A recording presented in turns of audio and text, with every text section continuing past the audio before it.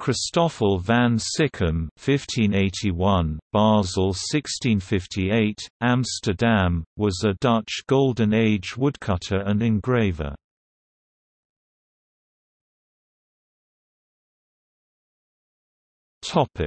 Biography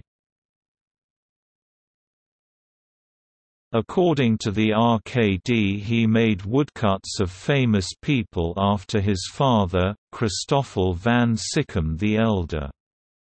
He was the brother of Karel Sichem who published many of his prints.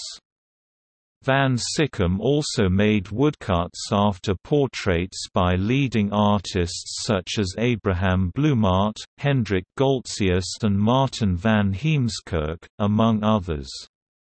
He made these for various publications and then he bundled and published them himself in Der Seelenlust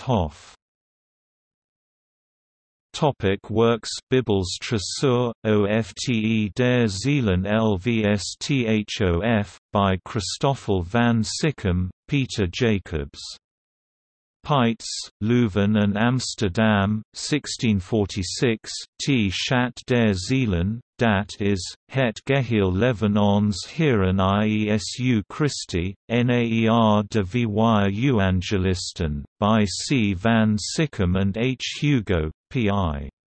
Paets, Amsterdam, 1648.